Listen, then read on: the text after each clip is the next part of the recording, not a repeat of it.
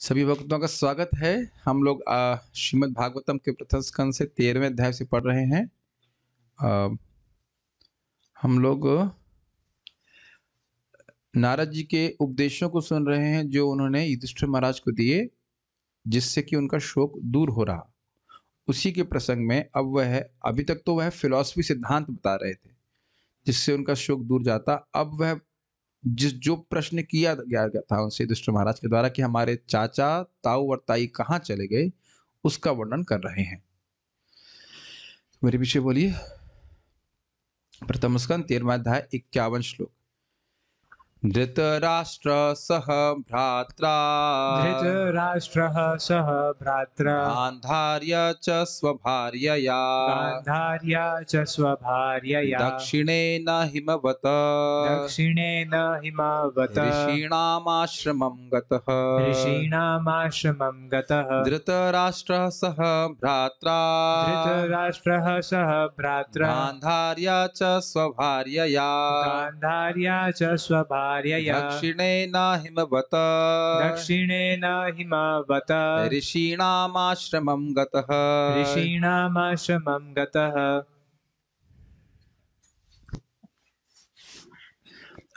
अनुवाद हे राजन आपके चाचा धृतराष्ट्र उनके भाई विदुर तथा उनकी पत्नी गांधारी हिमालय के दक्षिण की ओर गए हैं जिधर बड़े बड़े ऋषियों के आश्रम हैं। अन्वय देखिए। धृतराष्ट्र धृतराष्ट्र भ्रात्रा अपने भाई विदुर के साथ। के और स्वभार्या अपनी पत्नी, भार्या मतलब होता पत्नी, अपनी पत्नी गांधार्य च सह और अपनी पत्नी गांधारी के साथ। बहुत आसान है। हिमवत हिमालय पर्वत के दक्षिणेना, दक्षिण दिशा में। हिमालय पर्वत दिल्ली से उत्तर दिशा में। तो हिमालय की दक्षिण दिशा का अर्थ क्या हुआ? दिल्ली और हिमालय की कहीं बीच में। अरे, इतनी ज्योग्राफी भी नहीं समझ पा रहे हैं। ऐसे देख रहे हैं कि हम बहुत मुश्किल बात बोल रहा हूँ। दिल्ली से हिमालय उत्तर में है तो हिमवत, हिमालय के दक्षिण का मतलब हिमालय के पार नहीं गए हैं। अच्छा बड़ा मुश्किल बात ये तो सिंपल है। हिमालय को फांद के नहीं गए हिमालय के पहले ही कोई जंगल आश्रम है। हरिद्वार, ऋषिकेश का भी और क्लियर हो जाएगा। सप्त स्रोत गए हो आपकी नहीं, बात कृष्ण ये ऋषिकेश और हरिद्वार के बीच में है? हाँ सप्तधारा है तो वहीं पे वह हाँ सप्त ऋषि घाट भी वही बोलते तो अब समझ में आ गया, हिमालय के दक्षिण में है कि नहीं? ठीक है। अच्छा अब अब समझ आओ कि अब समझ में आया। घूम के आए आप और समझ में आ रहा है मुझको। तो हद हो गई। हिमवत दक्षिण है ना, समझ में आ रहा है? हिमालय के दक्षिण में। क्योंकि आप सोच रहे होंगे, वो ऐसे जा रहे हैं, जबकि हम वहाँ से वो वो हिमालय की तरफ़ से बता रहे हैं। तो हिमालय पार नहीं किए हैं। ये तो क्लियर हो गया ना। चाइना चाइना जाकर वज़न नहीं कर रहे। चाइना जाके वज़न नहीं कर रही है क्लियर हो गया। अगर कहते कि हिमवता उत्तर है ना तो संभावना थी कि उधर तिब्बत या चाइना हम चले जाते, लेकिन चाइना नहीं गए, भारत में ही है। हिमवतः दक्षिणे ना, ऋषि नाम आश्रमम गता, ऋषियों के आश्रम में चले गए। तो अब बड़ा स्पष्ट समझ में आ रहा है, हमको फ़ोटो नहीं मिल पाई। सप्त स्रोत स्थान है ऋषिकेश और हरिद्वार के मध्य में। इट नॉट बीच में कहीं है, वहाँ पे वो गए उस आश्रम में। संस्कृत देख लीजिए। धृतराष्ट्र सह भ्रात्रा धृतराष्ट्र अपने भाई के साथ गांधार या च स्वभार्य और अपनी पत्नी गांधारी के साथ। दक्षिणे ना हिमवत हिमालय के दक्षिण की ओर, ऋषिणाम आश्रम बता जो ऋषियों का आश्रम है, वहाँ गए। बहुत आसान है।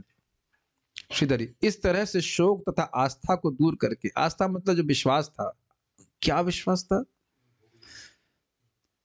आप कह रहे हो कि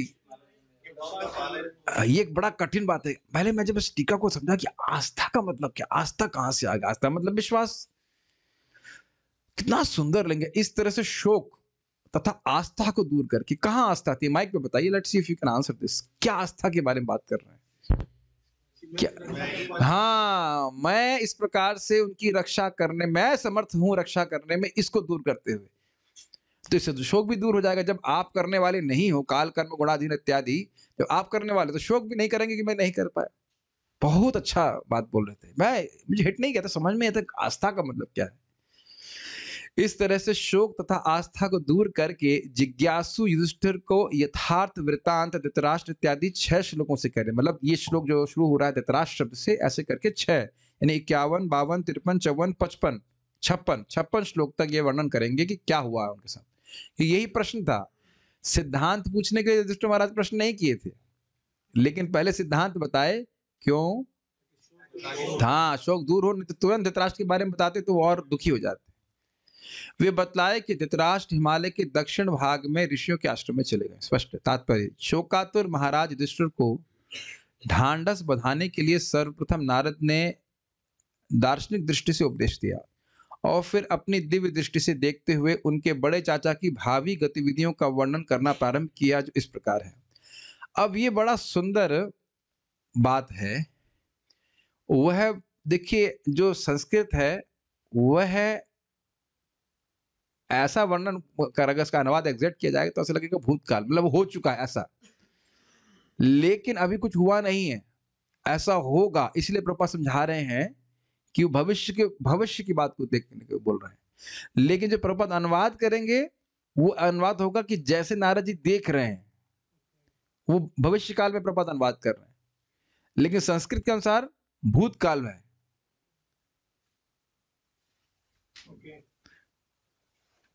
ये आप समझेगा प्रभुपा जी भविष्य काल की तरह क्यों कर रहे हैं? समझ में आ रहा है भविष्य काल की वास्तविक रूप से घटना नहीं हुई है, क्योंकि हम लोग कंफ्यूज नहीं हो।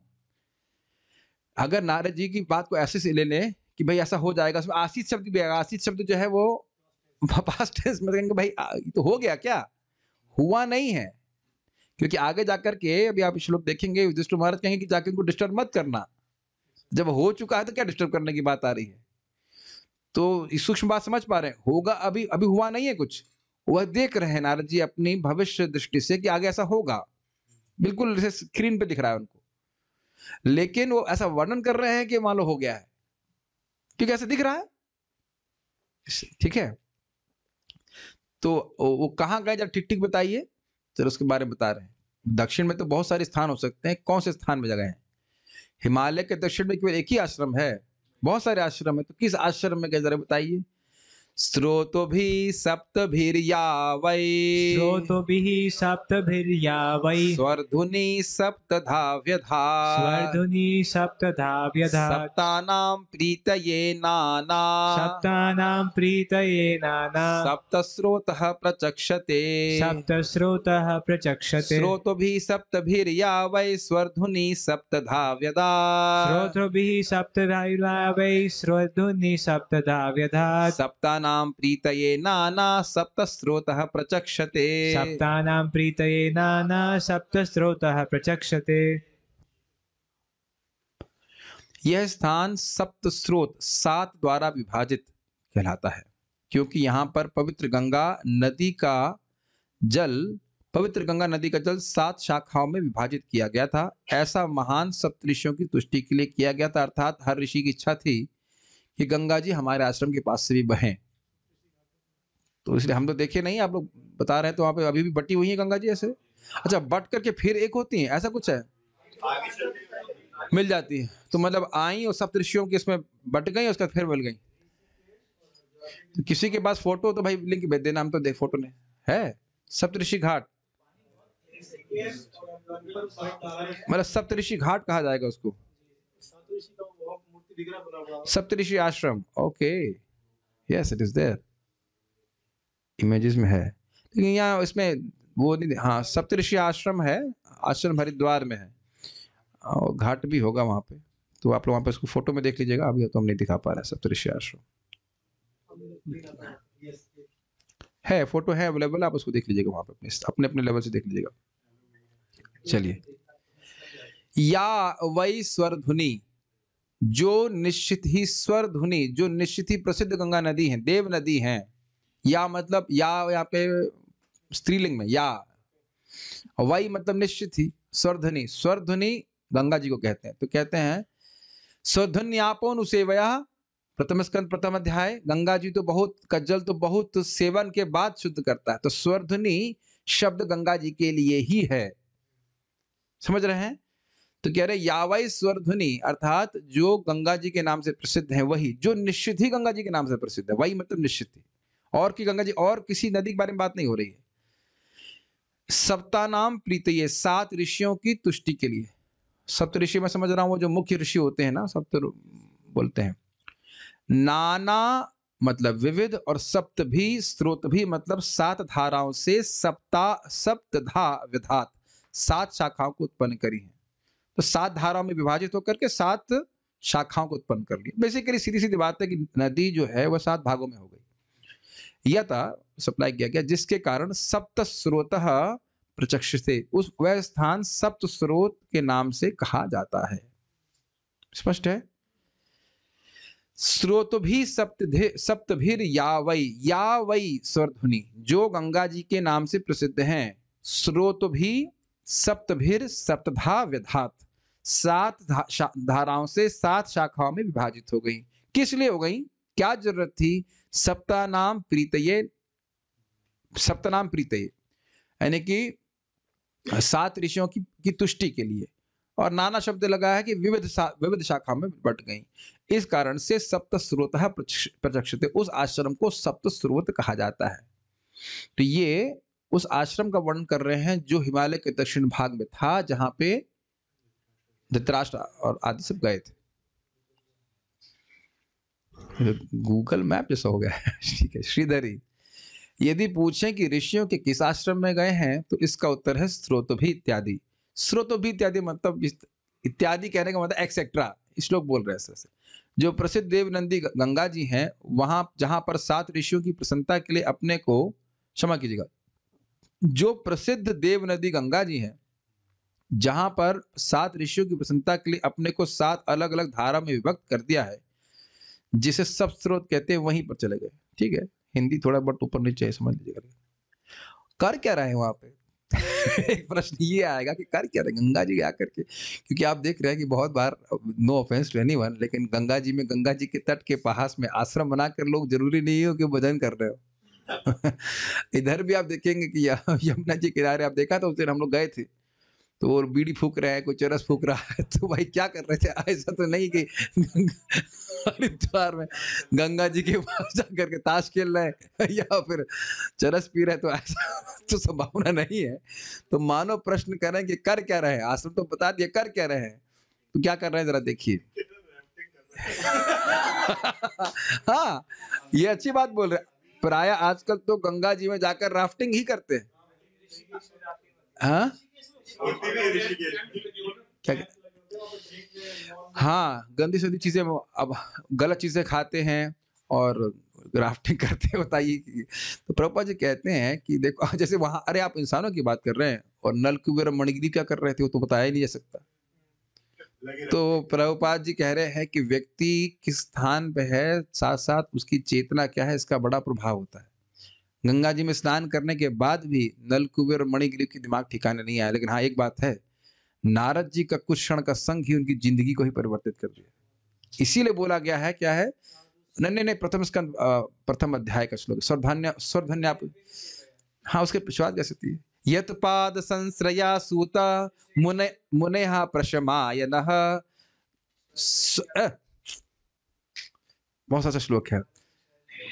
उपस्पृष्टा सर्धन्यापोन सेवया। जिनका चरणों का आश्रय लेकर मुनेहा यद पाद संश्रया सूत, हे सूत गोस्वामी, जिनके चरण, जिन विष्णु के, जिन कृष्ण के चरणों का आश्रय लेके है मुने प्रशमायन, मन, उनका मन एकदम शमित हो जाता है, ठंडा हो जाता है, शांत हो जाता है। अच्छा ये तो उनके संग होता है। दूसरों के लिए क्या करते हैं? तो कहते हैं, सद्या पुनात उपस्पृष्टा। तुरंत ही मुक्त, तुरंत ही पवित्र करने, कर देते हैं। अच्छा और किससे कंपेयर कर रहे हैं? स्वरध्वनि आपोन सेवया स्वरध्वनि गंगा जी के जल से तो बहुत दिन तक सेवन करने के बाद शुद्धि होती है। बहुत दिन राफ्टिंग करता तो शायद ठीक हो रह सकता है। उसी में राफ्टिंग कर रहा, उसी में गोता मार रहा है कि नहीं मार रहा है? लेकिन नहीं पवित्र होता है। भैया कह लेंगे बहुत कम पवित्र होता है। ऐसा तो नहीं कहेंगे नहीं पवित्र होता है। तो क्या कर रहे हैं? जरा देखिए। स्नात्वानुसवनम तस्मिन् हुत्वा चाग्निन यथा विधि स्नात्वानुसवनं तस्मिन् भूत्वा चाग्नीन् यथा विधि अबभक्ष उपशान्तात्मा स आस्ते विगतैषणः। अपभक्ष उपशांतात्मा स आस्ते विगतैषणः। स्नात्वानुसवनम तस्मिन् हुत्वा चाग्निन यथा विधि स्नात्वानुसवनं तस्मिन् हुत्वा चाग्नि यथा विधि अबभक्ष उपशान्तात्मा स आस्ते विगतैषणः। अपभक्ष उपशान्तात्मा स आस्ते विगतैषणः। कि इस समय सप्त स्रोत के तट पर धृतराष्ट्र नित्य तीन बार प्रातः दोपहर तथा संध्या समय स्नान करके अग्निहोत्र यज्ञ संपन्न करके तथा केवल जल पीकर अष्टांग योग का अभ्यास करने में लगे हैं। इससे मनुष्य को मन तथा इंद्रियों पर संयम रखने में सहायता मिलती है और वह पारिवारिक स्नेह संबंधी विचारों से सर्वथा मुक्त हो जाता है। अन्वय देखिए। तस्मिन, वहाँ। तस्मिन यहाँ पे सप्लाई हाँ तस्मिन शब्द है यहाँ पे। तस्मिन का मतलब वहाँ। वहाँ मतलब कहाँ? नाम बताओ जल्दी से। सप्त स्रोत। ठीक है। तस्मिन मतलब सप्त सप्त स्रोत आश्रम में। अनुसवनम। इसका अर्थ लिया गया है नियमित रूप से, यानी रोज तीन बार, अर्थात प्रातः, दोपहर तथा संध्या समय। अब आप थोड़ा एक और समझ लीजिए, हैं वृद्ध और कहाँ पे हैं अभी? गंगा जी के तट पर गंगा जी तट में कहाँ पे? कानपुर में? एकदम हिमालय के दक्षिण भाग में। कितने लोगों ने ऋषिकेश में स्नान किया है? ओके। वाह! मैं समझता हूँ सारी नींद आपकी भाग जाएगी। सुई की तरह लगा लेकिन एक आपने पता नहीं अनुभव किया कि नहीं मुझे मुझे बड़ा अद्भुत अनुभव हुआ कि हम बहुत छोटे में गए थे। मैं समझता नाइन्टी सेवन में। That means almost like whatever बारह तेरह साल के रहूँगा पंद्रह भी नहीं। या और पहले गया हूँगा मुझे याद पंद्रह नहीं पंद्रह का नहीं था। बाबा जी हमारे बड़े चिंतित थे अरे तुम लोग डूब जाओगे हमको ये हो जाएगा वो हो जाएगा। हम दोनों को टांग के लेके थे मेरी और मेरी बहन को। बिल्कुल स्नान नहीं करने देते थे। गंगा जी में फिर हम कहते हमको लाए क्यों आप गंगा जी में स्नान नहीं करने दे रहे? तो बड़ी मुश्किल से गंगा जी में हमको स्नान करने दिए। और हम लोग बच्चे ना लोग भागते हैं कि गंगा जी में स्नान करने। लेकिन धारा रीली बहुत तेज थी। तो दो जगह हमने स्नान किया और बड़ा अलग अनुभव हुआ। एक जहाँ बहुत तीव्र है, वहाँ ठंडा लगता है। लेकिन आगे जाकर पत्थरों के बीच में रुक जाता है पानी। वहाँ ऐसा गर्म, एकदम गर्म लग रहा था। मुझे विश्वास ही नहीं हो रहा था कि यही गंगा जी का पानी जस्ट डाउन स्ट्रीम में भी लाइक सौ, दो सौ मीटर डाउन मैं बड़ा आश्चर्य हुआ था, वहाँ कोई ज़्यादा स्नान भी नहीं कर रहे थे, कुछ साधु लोग उधर स्नान करते थे। बड़ा हमको आश्चर्य हुआ। आपने तो अब गोमुख भी तो और ठंडा होगा, लेकिन ये आपको ऐसा अनुभव हुआ कि पता नहीं हाँ। हाँ वही कुछ ठंडा कहीं गर्म। मैं समझ, आज तक मैं इसका रहस्य नहीं समझा कि कारण है। पानी कैसा भी हो, मैं बोल रहा हूँ कि अब जो भी हो, मेरे समझ में नहीं आया नहीं आओ वट ऋषिकेश भी एक बार स्थान हो जाना चाहिए, चलना चाहिए। ऋषिकेश की तो ट्रिप हाँ। हाँ? जो भी एक बार ऋषिकेश में आने वाला स्थान है। हाँ। गूगल मैप्स के द्वारा। मानसिक यात्रा। एनीवेज तो वहाँ पे तीन बार मैं खाली ये बात इसलिए कर रहा था कि वृद्ध हैं और फिर तीन बार स्नान कर रहे हैं, क्योंकि तीन बार स्नान करने का तीमो सोची कि गीजर लगा करके बाथरूम में तीन बार स्नान कर रहे हैं। अब देखिए, हम, मैं भी गीजर उजर का पानी यूज़ करके केवल दो बार स्नान करता हूँ, उसमें अपने को समझना कि हम बड़े पवित्र रह रहे हैं। तीसरी बार तो अभी हिम्मत नहीं पड़ती, कोई है पे तीन बार स्नान करता हो? नहीं करता, तीन बार तो हिम्मत नहीं पड़ती है।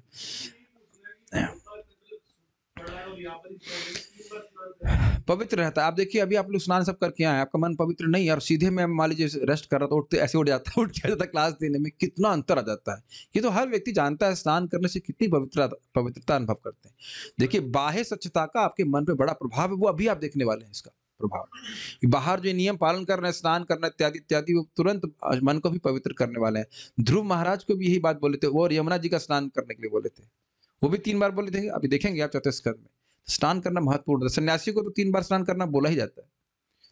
हमने सुना, वैसे ये पढ़ा है इंटरेस्टिंग ब्रह्मचारी को एक बार भी करने से होता है। गृहस्थों को दो बार अगर मुझे ठीक से याद है, और वानप्रस्थ सन्यासी को तीन बार। ये मैं पढ़ा हूँ उसको। तो लेकिन फिर भी दो बार तो करना ही चाहिए, है ना? कितने लोगों ने दो बार नियम, स्नान करने का नियम बनाया है? Please raise your hands okay यार, आप लोग तो हैं ही। मैं जूम वाले डिबोटी से देख रहा हूँ। ओह, कोई भी हैंड रेज नहीं कर रहा है। ओके वेरी गुड नहीं कर रहे कर रहे कर रहे ठीक है ओके तो आप लोग अंतर महसूस कर रहे होंगे कि दो बार स्नान करने से मन में पवित्रता रहती है। एक बात समझ लीजिएगा, इस संघ में आए हैं तो ये ब्राह्मण फैक्ट्री है। समझ में आ रहा है? शूद्र प्रोडक्ट नहीं निकालने हमको। ब्राह्मण धीरे धीरे करके कैसे भी, कम एज यू आर लेकिन बाहर निकलेंगे एकदम ब्राह्मण बन करके। जाप करने वाले और दो बार स्नान करने वाले, प्रसाद खाने वाले, गीता भागवत बोलने, समझने वाले। समझ रहे हैं? तो इसलिए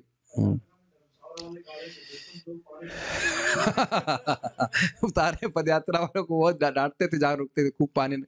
एक बार बात आ रही थी स्नान करने में बात आ रही क्या से नाम है, क्या नाम कमल लोचन प्रभु। कह रहे थे कि बॉम्बे में अपने, कौन से, मीरा रोड में मीटिंग हो रही थी कि भाई पानी की बहुत कमी हो रही पानी की बहुत कमी हो रही भक्त लोग बहुत स्नान कर रहे हैं। तो प्रभु जी कह रहे, हम तो हंस रहे थे हम आंतरिक रूप से कि तो अच्छा है ना कि स्नान कर रहे हैं। ऐसे महाराज बता रहे थे कि कोई व्यक्ति उनको अमेरिका में मिला कहा, ये क्या है? कहते हैं तिलक है। तो क्या है? आप इस्कॉन से हैं? कहते हैं हम इस्कॉन से अच्छा वही संस्था जहाँ लोग बहुत नहाते हैं। तो उन लोग को बड़ा अजीब सा लगता है लेकिन ये पवित्रता का नियम। तो चलो हम बात खाली ये कहना चाह रहे थे कि तीन बार स्नान कौन कर रहा है? वृद्ध व्यक्ति। और कहाँ कर रहा है? गंगा जी के जल में। तो आप देख सकते हैं धीर व्यक्ति थे। और पूरा संकल्प लेते कि शरीर के सुख को सुख देना ही नहीं। ठीक है? अच्छा ये तो किया। फिर स्नातवा स्नान करके क्या किया? स्नान करके क्या चाय गर्म चाय और पाव जो बिक रहे थे खाना शुरू किया? नहीं। उसके बाद यथाविधि अग्नि चहुत्वा और शास्त्र के नियमों के अनुसार अग्नि में अग्निहोत्र यज्ञ किया। ठीक है? ये समझ में आ रहा है? यथा विधि जैसी विधि शास्त्र में वर्णित है, उसके अनुसार अग्नि में होत्वा, होम आदि किया, अग्निहोत्र, पवित्र करने के लिए। अपभक्ष।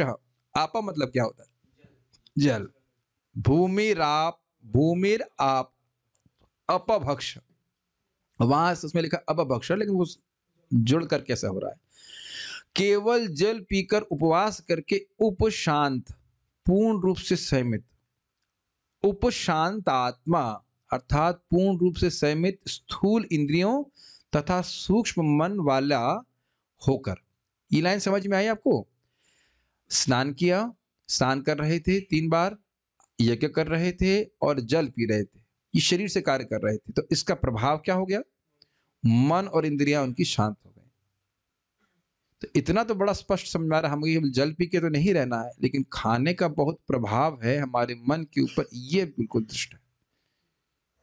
आप लोग, मैं समझता हूँ, सभी लोग अनुभव करते होंगे। हम ये कह नहीं रहे कि आप करो ना, मैं कर पा रहा हूँ कि एकादशी में केवल अन्न त्याग देते हैं तो अगले दिन कुछ मन शांत हो जाता है। आप ये भी नहीं कह रहे कि चलो निर्जल करते हैं, लेकिन आप लोग का ऐसा कुछ अनुभव नहीं होता है? एकादशी का प्रसाद भी ग्रहण करें, फलहार ऐसे कुछ सिंपल अन्न भी तागें, और ऐसे भी ये जो प्लीज़ कंफर्म बता रहे ब्रह्मचर्य के लिए सौंफ मसाला एक है सब जानते हैं वो खाने से बहुत फ़ायदा होता है। इज़ इट नॉट यस बोल दीजिए. हाँ yes when your opinion is needed will be given to you नहीं नहीं नहीं। तो इन्हें बताया और ये परम पूज्य भक्ति समित महाराज के लेक्चर में आप सुनिएगा रामानुजाचार्य जी के लेक्चर में। कह रहे थे कि एक वैद्य वहाँ के साउथ इंडिया के बता रहे थे केवल मसालों के थोड़े परिवर्तन से। सुना है सब लोग? तो मैं मतलब वो वैद्य बता रहे थे कि मैं किसी व्यक्ति को एक पशु की तरह कामी बना सकता हूँ और शांत भी बना सकता हूँ और वो उसी का उपयोग करके एक विशेष प्रकार का साग था। राम मिश्र जी ने तिरुमलाई, ऐसे कुछ नाम था जो भी है, हमें तो उसे मलाई याद आती है, लेकिन वो जो भी साग है, वह खिलाया एक साल तक। अनजाने में राजा यमुनाचार्य जी ने खाया और अलबंदारू ने खाया और उनके मन में पवित्रता आ गई। तो अब आप सोचिए कि हम बाहर की वस्तुएँ खाते हैं, हम मतलब जो लोग खाते हैं फास्ट फ़ूड जो महाकामी व्यक्ति बनाता होगा गंदे पदार्थों से, उससे तो हम लोग बिल्कुल उपशांत आत्मा हो जाएँगे। हमारी आत्मा, आत्म साक्षात्कार जिज्ञासा पूरी तरह से शांत हो जाएगी। है कि नहीं? ब्राह्मण लोग इसलिए बहुत सतर्क रहते हैं, किसका खा रहे हैं? समझ रहे हैं बात?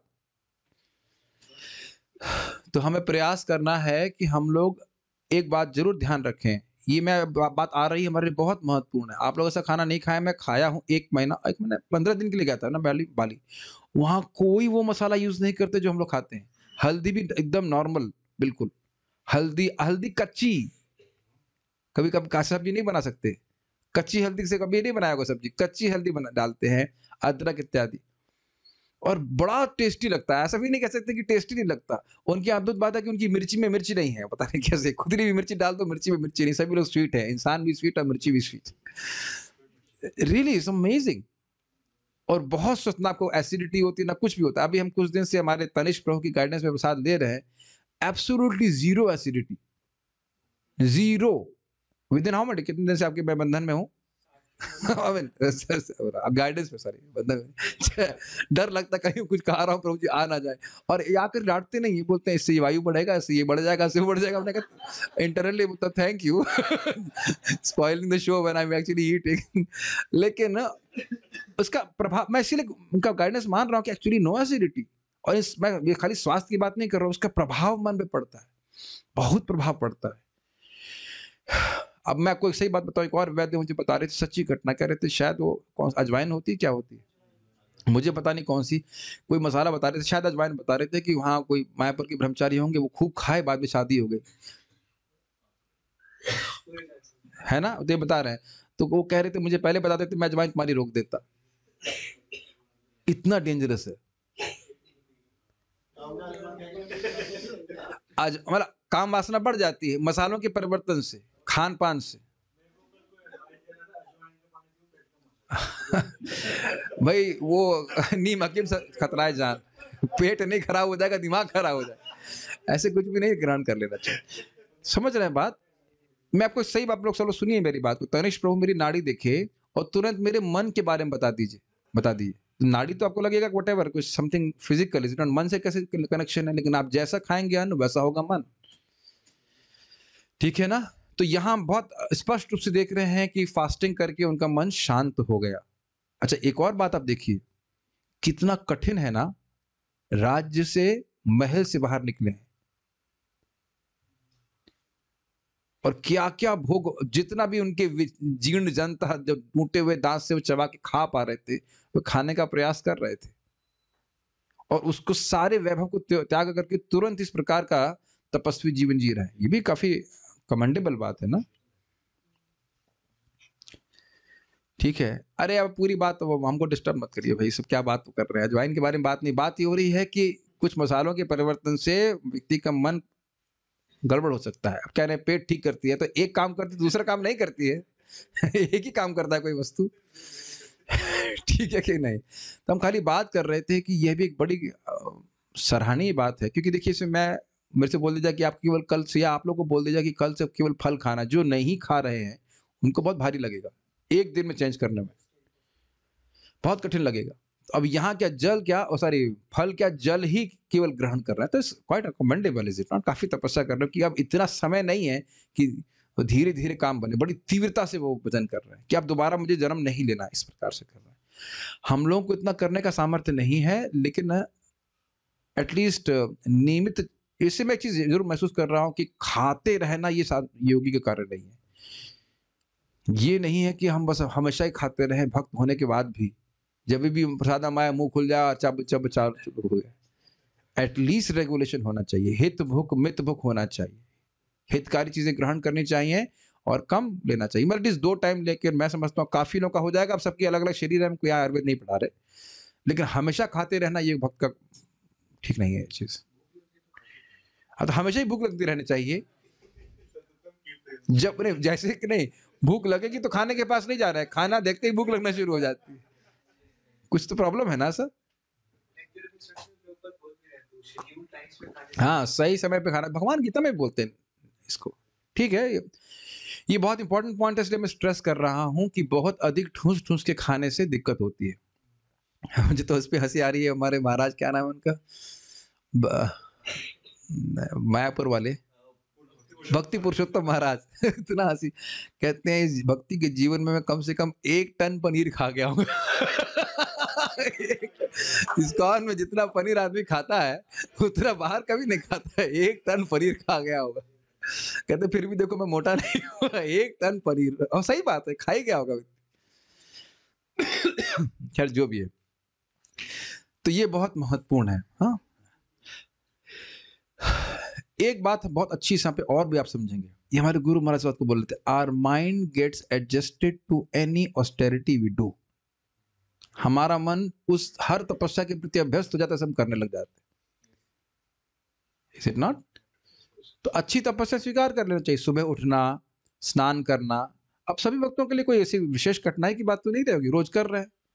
और आप देख के आते होंगे घर से सीधे कोई उठ के आ, आता है व्यक्ति ज्वाइन करता है मान लो बड़ा कठिन लगेगा महीना दो महीना और जहाँ दो चार दिन कर लिया तो फिर आसानी लग जाती अच्छी आदतें डाल लेनी चाहिए ना। ये तो कुछ हम सीख ही रहे हैं यहाँ से पानी पी के रहने के लिए नहीं बोल रहे हैं आपको। वैसे सही में हमारे आश्रम में मतलब मंदिर मंदिर वाले आश्रम में वो क्या नाम है पावन निताय प्रभु। वो कार्तिक में एक महीना केवल पानी पी के रहे हम तो भाई ने कहा बॉडी में वैसे कुछ नहीं है। हाँ बॉडी में आपके वैसे ही कुछ नहीं है।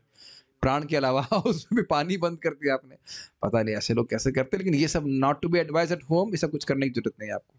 कुछ भी ऐसा करने की ज़रूरत नहीं है जस्ट दो टाइम अच्छा सात्विक प्रसाद ग्रहण कीजिए।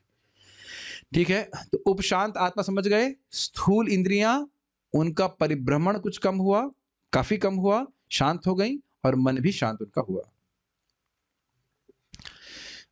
सह, यानी विगत ऐषण ऐषणा का मतलब क्या होता है? ऐषणा का मतलब होता है पारिवार यहाँ अनुवाद किया गया है पारिवारिक कुशलता संबंधी विचार और विगत मतलब उससे रहित। विगत ऐषण। विगत कहाँ है? ऐषणा शब्द समझ रहे हैं? ऐषणा शब्द महाराज भी बार समझा चुके हैं, अगर आपको याद हो उस क्लास में। बहुत समझाए थे ऐषणा। भौतिक इच्छाएँ, चिंता। देखिए, ये बड़ी कठिनाई होती है। वृंदावन में व्यक्ति आ जाता है, लेकिन स्पेशली मान लो वानप्रस्थ जीवन जीना चाहता है, बड़ी अच्छी बात भी है। लेकिन अब जो लोग हैं वानप्रस्थ में, वो समझते हैं कि वो बच्चे की चिंता बहुत रहती है, कैसे बिज़नेस चलेगा? और उसके बच्चे का वो जो बच्चा है, वो नाती, उसकी में मन फंसा रहता है। अब आप ये बताइए कि क्या धृतराष्ट्र के लिए इस प्रकार की संभावना नहीं थी? इसी में तो फंसे हुए थे वो, जबकि उनके पुत्र मारे गए सारे। फिर भी घर परिवार की आसक्ति थी। तो कह रहे हैं, विगत ऐषण अहमता ममता नहीं होती है कि मैं शरीर हूँ, मेरा बेटा है, उसका बेटा है और ये हो गया, वो हो गया, बहुत बातें करते हैं लोग। और वानप्रस्थों की बात हो रही है। घर में रहने वालों की बात नहीं हो रही है। जो घर छोड़ के आ जाता है, उसकी भी आसक्ति बनी रहती है।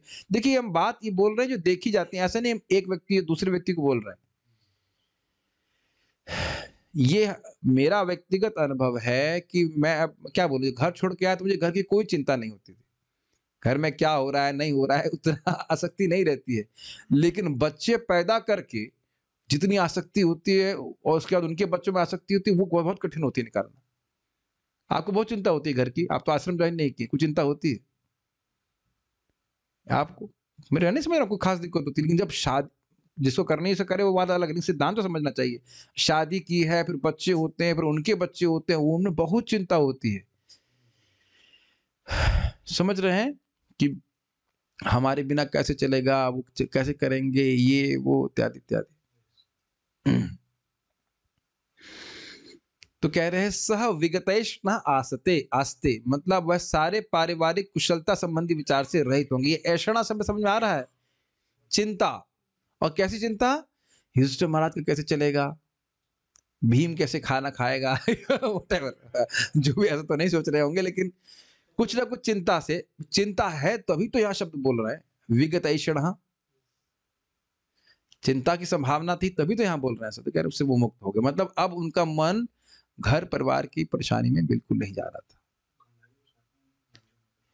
गांधारी आई हैं कि हाँ गांधारी आई हैं कि उनको लेके आए हैं? आप बताइए माइक दीजिए इनको। माइक माइक दीजिए। मुझे पता था गलती होगी। हाँ गांधारी आई हैं वो लेके नहीं आए। वो सारी एशड़ा तो वहीं त्याग के आए एक तरह से। वो निकले तो उधर देखे नहीं। विदुर जी के संग निकल गए वो। हाँ भल वो हाथ पकड़ चले कि भले गांधारी उनके साथ में आ, साथ में आई उस तरह से लेकिन अपनी इच्छा से ऐसा नहीं बोले कि तुम आओ। इनविटेशन नहीं दिए हैं। उनका हाथ पकड़ी और वो समझ गए कि जा रहे हैं, उनका हाथ पकड़ के चली गई प्रभुपाद जी ने तात्पर्य में स्पष्ट बोला था she went behind him at her own risk वो अपने स्वेच्छा से उनके पीछे पीछे चल रही है। गांधारी च तपस्विनी। हाँ।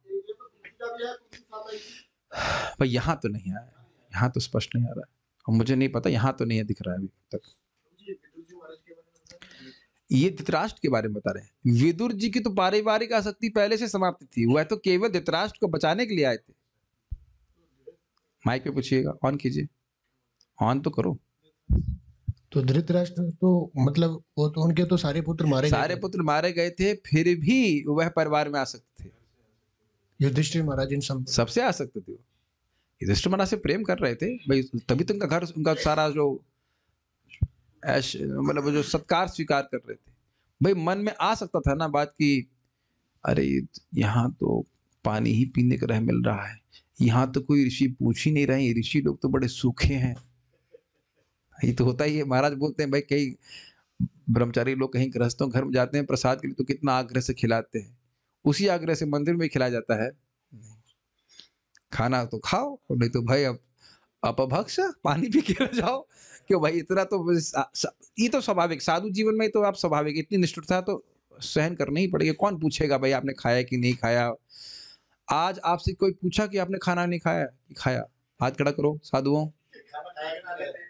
हाँ मैंने आपसे पूछा, वो तो सामने पड़ गए। नहीं तो ऐसे तो कोई पूछ, आपको देख के लगता है खाने की ज़रूरत है। नहीं तो आप जल पीकर रह जाओगे। लेकिन बाकी कोई पूछा आपको? एनीवे कोई श्याम सुंदर? दोनों श्याम सुंदर? कोई पूछ रहा है? अपना प्लेट लेके पहुंचो और खा लो।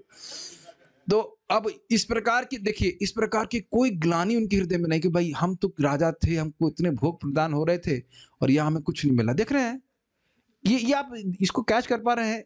इस प्रकार की ऐसा नहीं रहेगी, भाई हमारा वहाँ कितना सम्मान होता था, देखो, भीम हमको कुत्ते के तरह ला करके दूध, हमको सॉरी मतलब वो भोजन, पिंडम, अपवर्जित पिंडम ला कर दिया करता था।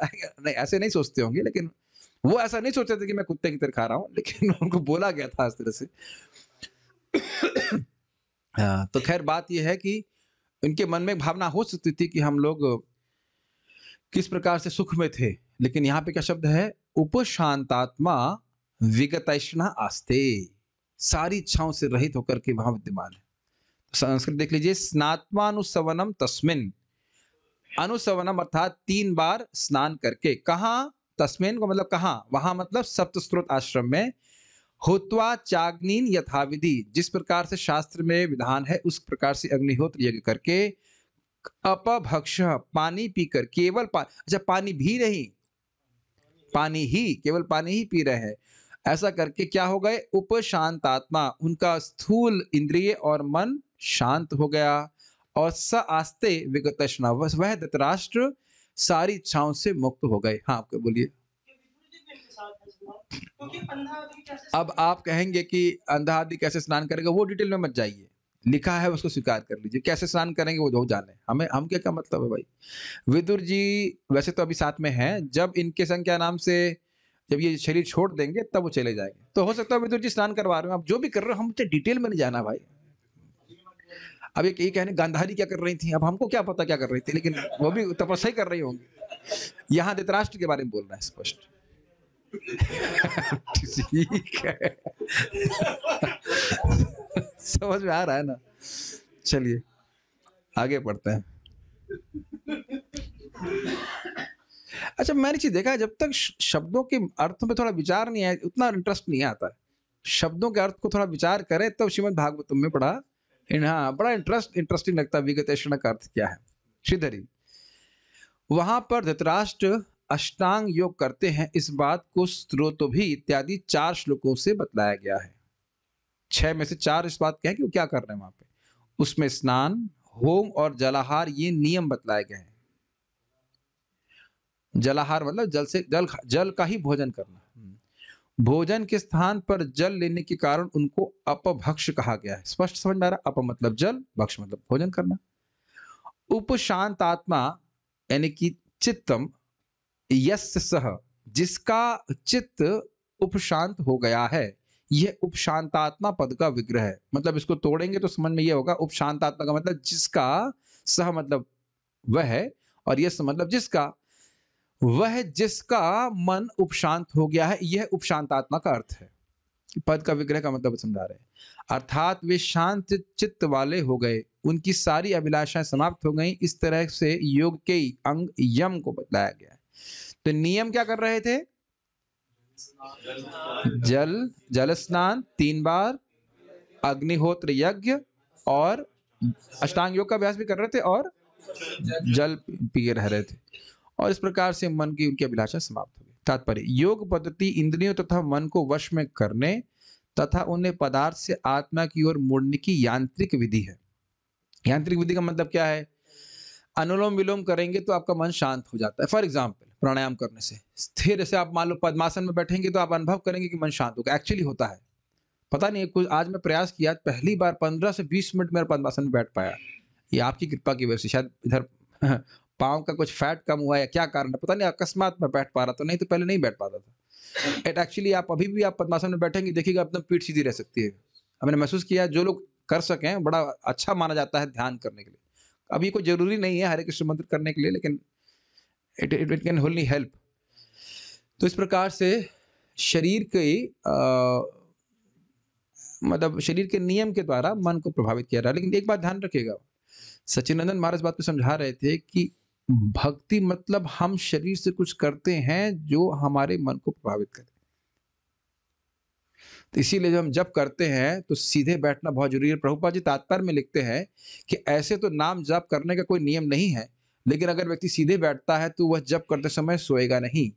ये प्रभुपा जी के तात्पर्य में अब मुझे थोड़ा स्मरण आ रहा है, चौथे स्कंद में कहीं पे है। या हाँ चौथे स्कंद में ध्रुव महाराज के प्रकरण में कहीं पे है। लेकिन अभी मुझे हाँ वहाँ आसन की ही बात कर रहे होंगे, आप देख लीजिएगा आसन शब्द आएगा वहाँ चौथे स्कंद में, जहाँ आप नारद जी कुछ बता रहे हैं, वही कुछ ऐसा जितासना शब्द कुछ ऐसा है, वहाँ पे वर्णन कैसे करता है, लेकिन मैं एकदम धूमिल याद है, लेकिन एकदम लिखे हैं प्रभुपा जी इस बात को, और प्रभुपा जी का वीडियो, ऑडियो भी है जब का ग्रुप जब में सिट प्रॉपरली सुना है ना, ऐसे नहीं, ऐसे एकदम एकदम आलू के बोरा होता है ना, ऐसे करके पड़ा हुआ है, ऐसे करके जब करते रहते सोते रहते हैं, ऐसा कैसे भगवान की प्राप्ति करेंगे बताइए। हर चीज़ का एक आसन होता है तो यहाँ समझना चाहिए कि योग पद्धति यांत्रिक तरीका है। यांत्रिक तरीका मतलब मन को पकड़ के केंद्रित करने का प्रयास करते हैं। मैकेनिकल तरीका समझा, ठीक है? और इसमें क्या करते हैं?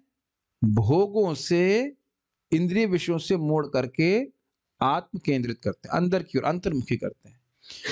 इसकी प्रारंभिक विधियाँ हैं, आसन, ध्यान, आध्यात्मिक विचार, प्राणायाम, समाधि तथा परम पुरुष परमात्मा की ओर उन्मुख होना। इस तरह की यांत्रिक विधि से आध्यात्मिक पद तक ऊपर उठने के लिए कुछ विधान नियत किए गए हैं। दिन में तीन बार स्नान करना, जहाँ तक संभव हो उपवास करना, आसन मार कर आसन लगा कर होना चाहिए हिंदी बड़ी अजीब सी है। आसन लगाकर मन को आध्यात्मिक विषयों में एकाग्र करना तथा और तथा इस प्रकार धीरे धीरे विषय अर्थात भौतिक ध्येय से मुक्त होना अर्थात भौतिक विचारों से मुक्त होना। ये थोड़ा समझा देता हूँ इसको, देखिए। अष्टांग में अष्ट अंग, आठ अंग हैं। पहला क्या है? यम। यम और नियम। यम मतलब जो नहीं करना है। और नियम मतलब जो करना है। उसके बाद आसन। उसके बाद प्राणायाम। जब आसन सिद्ध हो जाता है, आसन सिद्ध को बोलते तीन घंटे ही आसन पे अगर बैठे रहे तो उसको आसन सिद्ध कहा जाता है। तो मुझे ख्याल से निद्रासन तो हम लोगों ने सिद्ध कर ही लिया है। इसमें तो छह घंटा बैठ ही लेते आराम से कट्टा ही नहीं है। लेकिन इसके द्वारा मन केंद्रित होता है। एक्चुअल बात तो है ये। इसको वेदांत सूत्र में कहा गया आसीन संभवात। जैसे, अभी आप सोचो, इस क्लास में आप छह बार अंदर जाइए, बाहर जाइए, छह बार अंदर जाइए, बाहर जाइए, फिर कुछ करिए फिर बैठ जाइए तो क्लास काफ़ी अच्छे समझ में आ जाएगी। तो ये आप अभ्यास करें।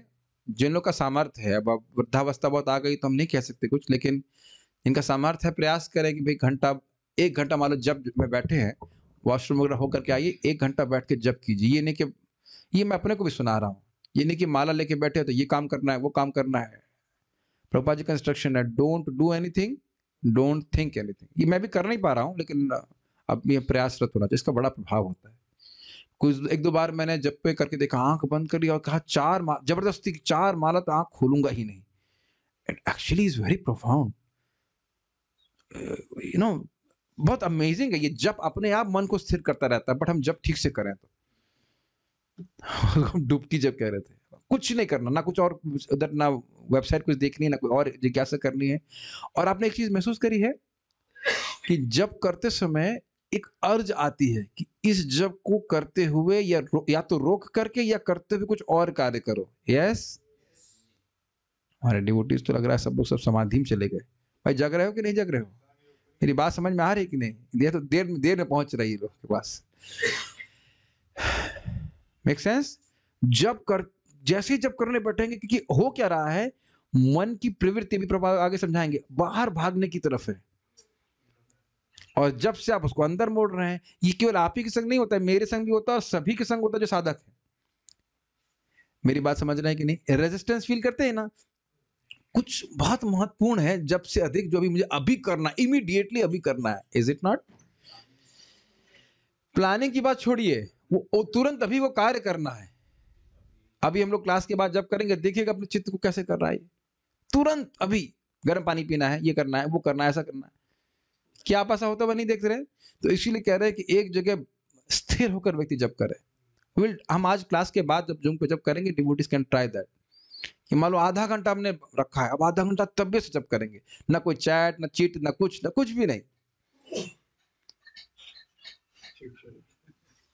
It it it really works हमने तो ऐसे भक्तों को देखा जो आँख बंद कर लेंगे और छह घंटे के बाद ही उठेंगे जब करते हैं। इतने धुरंधर आँखों से देखा है, रामकृष्ण को मतलब देखा है तो आँखों से देखा है, बैठे वो सब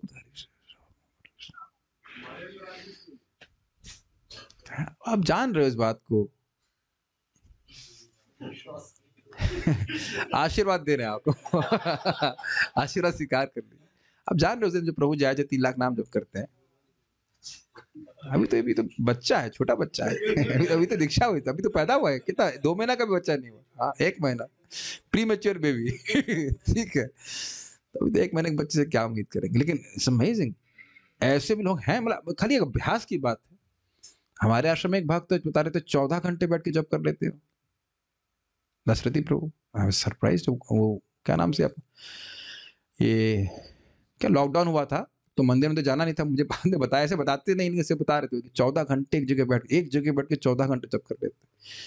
गुरु महाराज के बारे में सुना है, अपन मुझे राधानाथ महाराज तो वहाँ जब ऋषिकेश में कहा थे? हरिद्वार में थे। पत्थर पे बैठ के सुबह से शाम तक ही जब करते रहते थे। हाँ वो कुछ काफ़ी समय तक रहे ऐसे। बहुत से लोग, बहुत से लोग ऐसा करते हैं। मतलब जो लोग अच्छे बहुत साधक, साधना में आगे बढ़े वो कर लेते हैं।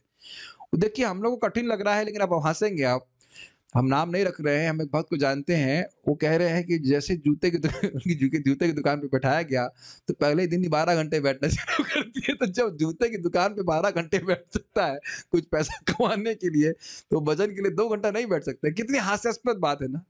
जूते की दुकान पे ही जगह बैठा हुआ व्यक्ति बारह घंटे के लिए रोज बैठ रहा है। आसन सिद्ध कर लिया उन्होंने लेकिन यहाँ पे उसमें नहीं लग रहा है व्यक्ति को मन। तो प्रयास करने से होता है। आसीन संभवात मेरे पीछे बोलिए। आसीन संभवात। आसीन संभवात। ये कहाँ पे है? ये विधान सूत्र में व्यासदेव जी बोल रहे हैं। तो यहाँ पे बड़ा स्पष्ट हम देख रहे हैं कि व्यक्ति अगर अपने आसन को स्थिर करेगा तो उसका मन स्थिर होगा। बाकी आप लोग जैसे जब करना चाहते हैं करें उसमें कोई आपत्ति नहीं है।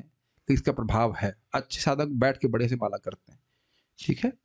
आप इसको ध्रुव महाराज के प्रसंग में सुनेंगे। महाराज अच्छे समझा रहे हैं। हर चीज़ का आसन होता है।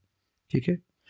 जैसे मंगल आरती खड़े होके करते हैं, हम लोग नरसिंह आरती बैठ के करते हैं, इत्यादि इत्यादि। महाराज कह रहे थे, भाई, ऐसा नहीं कि किसी को ट्रेन चलानी है तो सिर से आसन लगा करके ट्रेन चलाएगा। उसका कोई प्रॉपर आसन होता है ना?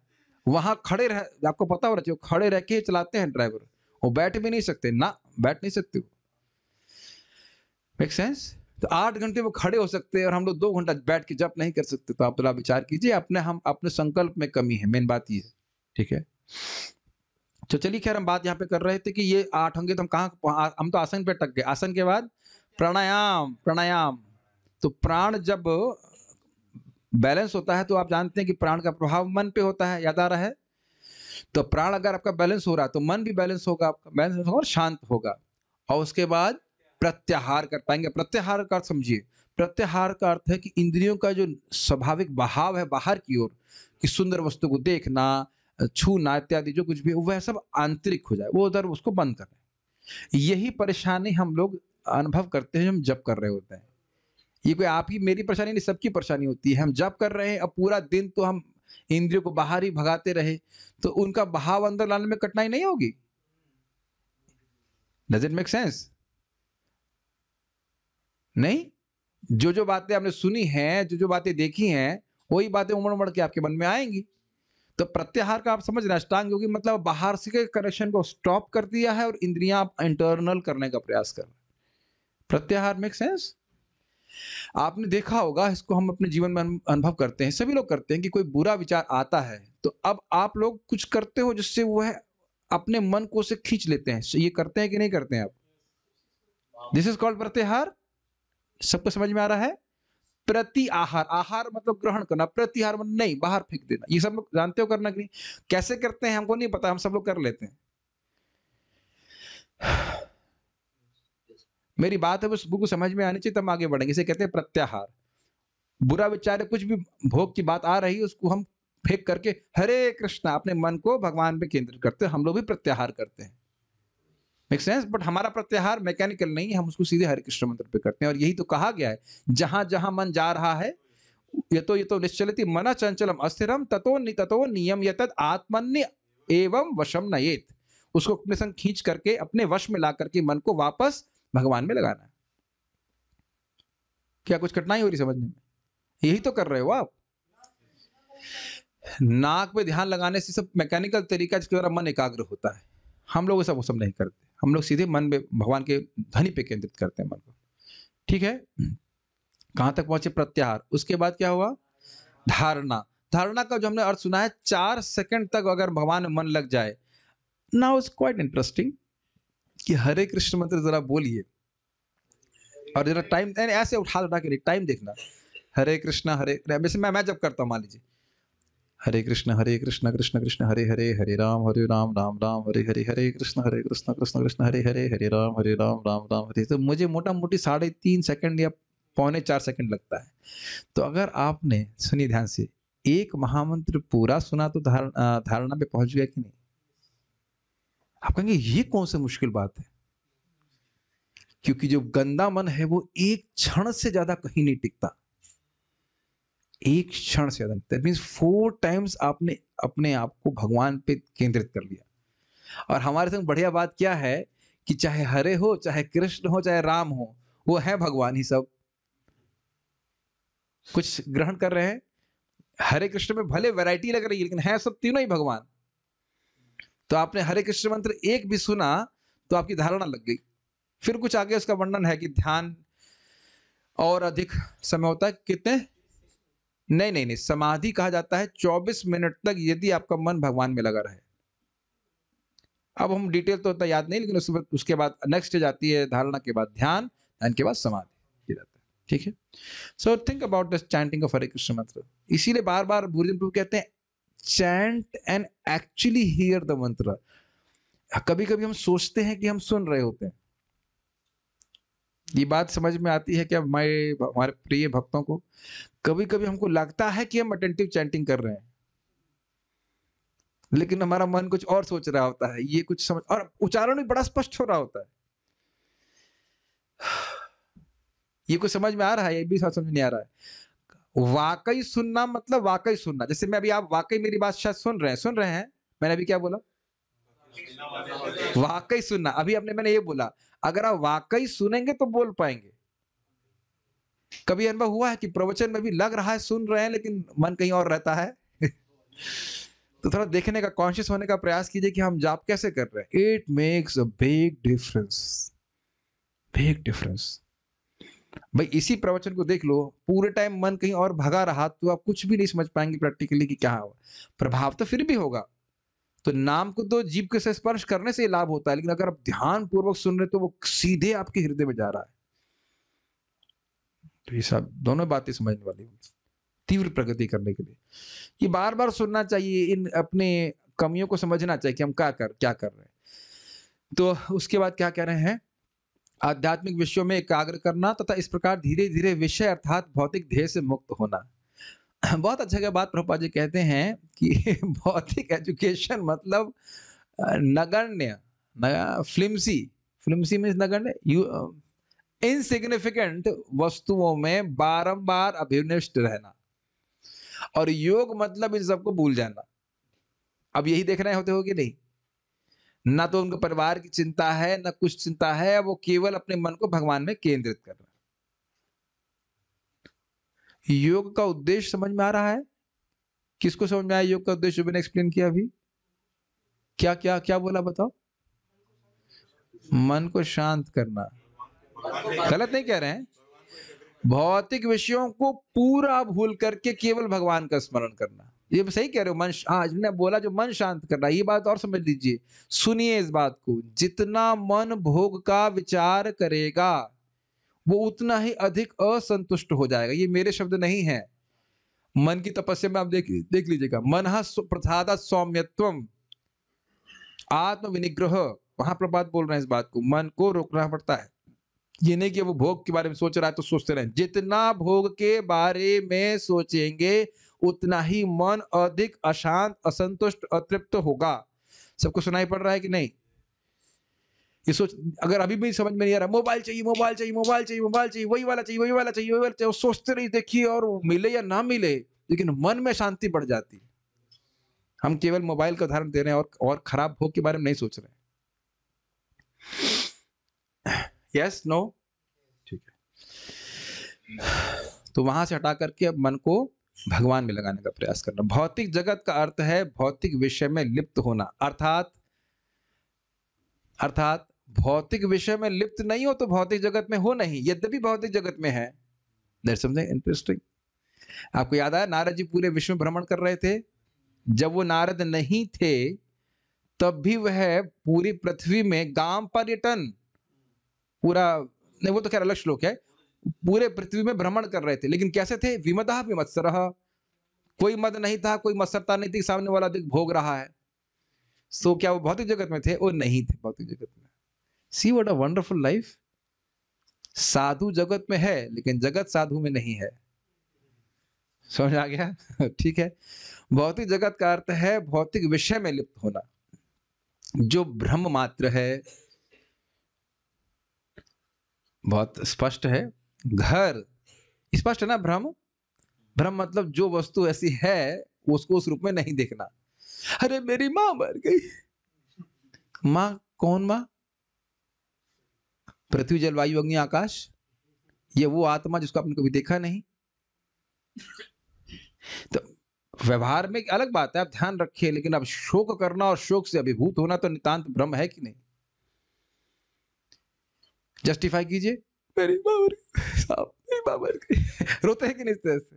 है ना बेवकूफ़ी? पहली बात तो कोई मर नहीं रहा है प्लस जो मरा भी अगर ताकत रूप से वो तुम्हारा संबंध है ही नहीं। तो ये भ्रम है। घर, देश, परिवार, समाज, संतान, संपत्ति तथा व्यापार, ये आत्मा के कतिपय, कति मतलब कतिपय मतलब कुछ आवरण है। योग पद्धति इन मोहमय विचारों से मुक्त होने और क्रमशः परम पुरुष परमात्मा की ओर मुड़ने में सहायक होती है, ये इन सब आवरणों को नष्ट करता है। भौतिक संगति द्वारा, यही बात हम बोल रहे थे, भौतिक संगति द्वारा सॉरी भौतिक संगति तथा शिक्षा द्वारा हम व्यर्थ की वस्तुओं में केंद्रित होना सीखते हैं। लेकिन योग ऐसी विधि है जिससे हम इन्हें पूरी तरह से भूल जाते हैं। विगत ऐषणा की व्याख्या प्रपात कर रहे हैं। This is highlight of this whole discussion बारंबार यही ट्रेनिंग दी जा रही है कि मन मना भव मत भक्त। भगवान मन लगाओ, अर्थात भोगों में मन नहीं लगाओ। भूल जाओ उसको। और ऐसा नहीं हो रहा कि आप ऐसा होता हुआ नहीं देख रहे हैं। बारंबार कथा श्रवण करने से जब करने से और विषयों में मन को न लगाने से इंद्रियों को न लगाने से मन भी नहीं जाता है बहुत से विषयों में अभी भी। फिल्मी गाना तभी याद आता है जो बाद में बाहर डिस्को बजा देते हैं कभी। आप लोग देखा होगा ना श्याम सुंदर? वो ज़ोर से बजा देता है, तब याद आता है और उसके, उसकी स्मृति भी बहुत दिन नहीं रहती। एकदम से पूछो कि वो जो कल परसों या नरसों जो भी पिछले हफ़्ते शादी का कौन सा ज्ञान बज रहा था यहाँ पे तो बड़ा मुश्किल होगा याद याद होने में। नहीं याद कर सकते नेक्स्ट टू इम्पॉसिबल और आप पहले देख रहे थे कि एक गाना जरा सा सुना तो बस उसको गुनगुनाते रहते थे, वो विषयों को पकड़ने की क्षमता बहुत अधिक थी उस टाइम तो आप देख रहे हैं कि बार बार भक्ति के अभ्यास के द्वारा हम इस विगत की तरफ़ टेंड कर रहे हैं। कन्फर्म तो जो जो अष्टांगियों का अभ्यास कर रहे हैं उसको आसानी से भक्ति के द्वारा प्राप्त किया जा सकता है। लेकिन इसके लिए एक बात हमें ज़रूर करनी पड़ेगी रिगरस साधना। रिगरस मतलब कठोर पक्की साधना। और इस बात समझ लीजिए कि वो आप अपनी प्रगति के लिए कर रहे हो तो वो आप कैसे कर रहे हो, वो खुद चेक करो। ये इंचार्ज का दायित्व नहीं है। सुनाई पड़ रहा है? या कौन मॉनिटर कर रहा था इनका नाम इनका, धृतराष्ट्र को? भाई इनको समझ गए तो मुझे भगवान की प्राप्ति करनी नहीं तो दूसरा व्यक्ति क्यों मॉनिटर करे? उसको मॉनिटर करने की ज़रूरत ही क्यों पड़े? हमको अच्छे से करना चाहिए ना। इसका अर्थ अब कहेंगे, प्रभु जी आप जूम में सबको वीडियो ऑन क्यों करवाते हैं? तो एक दूसरे को सहायता करने के लिए हेल्प करने के लिए. लेकिन वस्तुतः मैं कैसे जब कर रहा हूँ, मेरा उच्चारण क्या हो रहा है कि मैं मन को केंद्रित कर पा रहा हूँ कि नहीं कर पा रहा हूँ, ये दायित्व हमने स्वयं लेना है। वो दूसरा कोई नहीं लेगा हमारे लिए। मेक सेंस कौन बोल रहा है उनको तीन तीन बार स्नान करने के लिए? खुद ही कर रहे हैं कि नहीं? You can force a person to perfection make sense हाँ बोलिए माइक पे। आपने कहा जी, एक मेरी माँ मर गई। मतलब दुख होता है। तो मतलब जो बचपन से हमारे साथ रहा वो फिर चला गया एकदम से अब अब हम उससे कभी नहीं मिल सकते। तो इसका तो दुख हो गई ना प्रभु जो। आपके संग बचपन के संग रहा बचपन से साथ रहा कौन बचपन के साथ रहा? जिसके साथ हम रहे जो भी मर गया। कौन मर गया?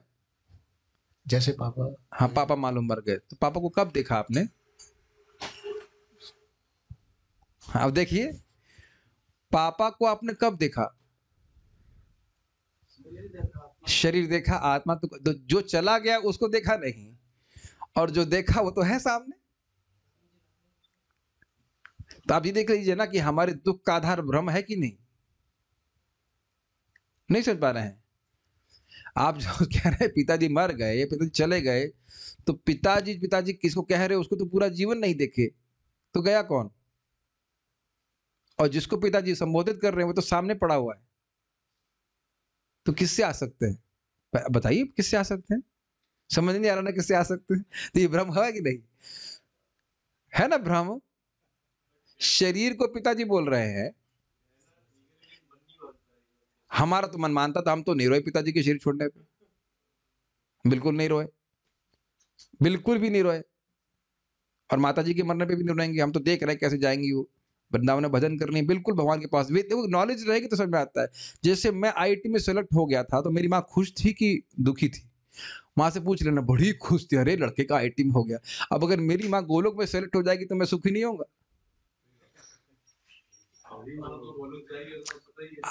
दुख इस बात का नहीं होना चाहिए कि वो मरेंगी कि नहीं मरेंगी। दुख इस बात है कि मरने के बाद कहाँ जाएँगी? ये इसी इसी से बचाने के लिए विदुर जी आए धृतराष्ट्र के पास। मृत्यु सबके पास आएगी, लेकिन मृत्यु के बाद वो कहाँ जाएगा ये देखना चाहिए। आप नानी के मरने से रोएँगे? क्यों यार मुकुंद बिल्कुल नहीं, अगर यहीं छोड़ेंगी तो पक्का हम लोग तो फ़ीस खाएँगे। चालीस पचास माला कर रही हैं, वृंदावन में शरीर छोड़ेंगे, भगवान के पास जाएँगे, कौन सा वो पाप कर रही है? Is it not we are happy discussing about death वो death is not death death is exam by which you can go back to Godhead कविता बन गई it not death is not death death is exam by which you can go back to Godhead है ना? अरे, आप ही बताओ exam नहीं दिए, कोई पास नहीं किया एग्ज़ाम। जब आपकी तैयारी बढ़िया रहती है, आप एग्ज़ाम का वेट करते हो, है कि नहीं? और जब एग्ज़ाम की तैयारी नहीं रहती है तो भय होता है। ऐसा होता है कि काश दो दिन बाद आता तो अच्छा रहता, है कि लेकिन एग्ज़ाम तो अपने समय से आएगा। तो दुख इस बात का नहीं होना चाहिए कि वो मर रहे हैं, क्योंकि मर कोई रहा नहीं है।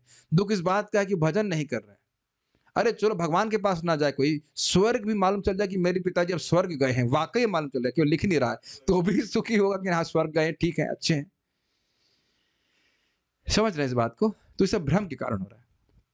तो इस प्रकार की इच्छाओं से वह मुक्त हो गए, इस भ्रम से मुक्त हो गए। कौन मुक्त हो गए? धृतराष्ट्र। ठीक है। तो मुझे बहुत, ये लाइन मुझे बहुत अच्छी लगी। अरे भाई, ये लाइन बहुत ज़्यादा अच्छी लगी हमको कि भाई ये भौतिक संगति भौतिक संगति समझ रहे हैं, ये जो जन, सामान्य लोग हैं, वो दुनिया की ही वार्ता करेंगे। है कि नहीं? कभी करने वाले भागवत की वार्ता कब भी नहीं करेंगे। और उसके बाद भी छोड़िए, ये तो आप लोग एक व्यक्ति हाथ खड़ा कर दे कि उसकी इस्कॉन में आने से पहले, उसकी कभी कोई शिक्षा हुई जिसमें वो भगवान के बारे में प्रमाणिक रूप से सोचे। प्लीज़ रेज योर हैंड्स अब आप समझ रहे हैं डेप्थ प्रभुपा जी की स्टेटमेंट की। हम सभी लोग, मैं समझता हूँ, अठारह साल या बीस साल, इक्कीस साल में भक्ति में आए होंगे। मोटा मोटी जो लोग यंग उम्र में आए, जो वृद्धावस्था में आए, उनकी तो बात छोड़ दीजिए अभी आप। इज़ इट नॉट स्ट्राइकिंग कि हमारे पूरी सभ्यता इस समय को ट्रेन कर रही है कि हम भगवान के बारे में एक क्षण के लिए भी ना सोचें। वेरी हैवी स्टेटमेंट और उद्देश्य क्या है? हम एक क्षण के लिए भी भगवान को ना भूलें। तन हानि तन महसिद्रम तन बहुत सुंदर श्लोक है। वही सबसे बड़ा छिद्र है, वो नहीं मिलेगा छिद्र स्वामी की टीका में। वही सबसे बड़ा छिद्र है, यानी कि मतलब गलती है, और वही सबसे बड़ी हानि है कि व्यक्ति अपनी आयु का एक क्षण या मुहूर्त भगवान वासुदेव को भूल जाए। और आप देखिए, हमारा पूरा अठारह साल स्वाहा हो गया। अठारह नहीं, हम तो इक्कीस साल में आए थे। इक्कीस साल स्वाहा हो गए, भगवान के बारे में एक क्षण भी सोचने का मौका नहीं दिया। आप कुछ कृष्णा सीरियल देख रहे होंगे, लेकिन कृष्ण को भगवान नहीं माने होंगे। ऐसे मज़ाक के लिए अपना एंटरटेनमेंट देख लिए होंगे। भारतीय हो इसलिए। और कहीं अफ्रीका में होते तो वो अभी नहीं। बहुत अच्छा बात हमको लगा था, इसलिए मैं ठहर करके चर्चा कर रहा हूँ। Try to see the entrapment किस प्रकार से भौतिक एनर्जी फंसा रही है इस भौतिक शिक्षा के द्वारा समझने का प्रयास कीजिए। आप सुबह दिन से जो काम करते हैं, उसमें कितना कृष्ण का स्मरण होता है, बताओ आप। मैं नहीं कह रहा हूँ कि नौकरी छोड़ दो, लेकिन देखने का सामर्थ्य तो होना चाहिए कि भैया आठ घंटे में कृष्ण का स्मरण कर ही नहीं पा रहा हूँ। आपके स्टॉक्स में कहीं आता है, Krishna Krishna Krishna Krishna, Ram, Mukund. We are not despising those things लेकिन आ तो नहीं रहा स्मरण, कृष्ण का। नहीं आ रहा कि नहीं? मान लो कोई व्यक्ति खेत में खेती कर रहा है डिवोटी है तो जान रहा है कि फूल भी भगवान की कृपा से आ रहा है कि नहीं? देखो भाई, हम किसी भी परिस्थिति में हो, लेकिन उसके वास्तविकता को स्वीकार करने की तो क्षमता होनी चाहिए ना, कि भाई ये चीज़ हमारे संग हो रही है। और कम से कम जीवन का एक समय तो ऐसा होना चाहिए, एक समय मतलब लास्ट का आखिरी दिन नहीं, कम से कम बीस, पच्चीस साल, तीस साल होने चाहिए, जहाँ हम अब कुछ नहीं सोचे सारी इच्छाओं से मुक्त होकर केवल भगवत भजन करें। मेक सेंस मुझे बहुत अच्छा लाइन लगा था। तो योग की ट्रेनिंग है और क्या धृतराष्ट्र ऐसा कर रहे हैं कि नहीं कर रहे हैं? बिल्कुल कर रहे हैं। उपशांतात्मा, विगत मुझे बहुत अच्छा लगा था। आधुनिक तथा कथित योगी तथा योग पद्धतियाँ कुछ जादू जैसे करतब दिखाती हैं और अज्ञानी लोग ऐसी झूठी बातों के प्रति आकृष्ट हो जाते हैं। अथवा वे स्थूल शरीर के रोगों को अच्छा करने के लिए इसे एक सस्ती विधि के रूप में मानते हैं। भाई कैंसर, क्या होता है आजकल? पंद्रह मिनट का आप कपाल भाती कीजिए तो कैंसर ठीक हो जाएगा। ऐसे मतलब मैं कोई प्रमोशन नहीं कर रहा, मुझे नहीं पता होता है कि नहीं होता, लेकिन इस तरह से वो सोचते हैं कि हम बॉडी को ठीक करेंगे बॉडी ठीक करें, क्या करने वाले हैं? मोह करने वाले हैं, जो योग से बिल्कुल विपरीत। लेकिन वास्तव में योग पद्धति वह विधि है, जैसे कि सिद्धासन गृहस्थों को नहीं करना चाहिए। और सिद्धासन गृहस्थ लोग करते हैं। समझ में आ गया? ये ब्रह्मचर्य की रक्षा के लिए होता है। वो सोचते हैं कि इसके इससे कर करके हम स्ट्रांग होंगे और, और भोग करेंगे। ये है देखिए क्या तो कलयुग चल रहा है। बिल्कुल विपरीत यूज़ हो रहा है हर चीज़ का। यहाँ आप स्पष्ट देख रहे हैं अष्टांग योग के द्वारा वो भोग की इच्छाओं से विगत हो रहे हैं और यहाँ भोग की इच्छाओं को पूर्ण करने के लिए योग का उपयोग कर रहे हैं। वॉट अमेजिंग कलयुग गाइस लेकिन वास्तव में योग पद्धति वह विधि है जिससे हमें, हमने जीवन संघर्ष के दौरान जो वास्तव में योग पद्धति वह विधि है जिससे हमने जीवन संघर्ष के दौरान जो कुछ सीखा है उसे हम भुला सके। ब्यूटीफुल स्टेटमेंट वशिल प्रभुपाद। जीवन में संघर्ष कर रहा है भोग प्राप्ति के लिए, जो कुछ भी धृतराष्ट्र ने किया कि नहीं बताओ, उनके जीवन में संघर्ष था कि नहीं? लगे पड़े हैं पांडवों को मारने में, लगे पड़े हैं युद्ध कराने में। लेकिन अब सब भूल गए, किसको राज्य मिलेगा, नहीं मिलेगा, अब आगे कौन होगा, कौन राजा बनेगा, नहीं बनेगा, सारी पॉलिटिक्स समाप्त। मुझे बहुत अच्छा लगे। और जो लोग भी भक्ति में आए हैं, हम लोग, मैं पहले भी चर्चा कर चुका हूँ भक्ति में आने के बाद फिर वो ग्राम्य चर्चा का कोई स्कोप नहीं है। अब देख रहे हैं प्रपात क्या बोल रहे हैं? हम उस सब बातों को भूलने के लिए आए ठीक है? और समझ पा रहे हैं? हम अब जग, वस्तुतः हम जगत को भूलने के लिए आए हैं। और जगत का स्मरण अगर है तो किस तरह से प्रहलाद महाराज की तरह से कि हम लोगों को मदद कर सके भक्ति करने के लिए? बाकी कोई जगत से मतलब नहीं होना चाहिए। एटलीस्ट सब लोग जो विरक्त आश्रम में है, उनको तो होना चाहिए। और गृहस्थों को भी मिनिमम इंटरेक्शन रखना चाहिए।